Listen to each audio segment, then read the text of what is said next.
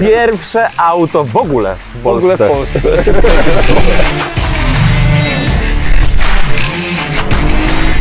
Co teraz nie masz odwagi, dziwko, tak? No jeszcze do... Jeszcze głębiej. Parą statkiem pięknie. Cała na prawo!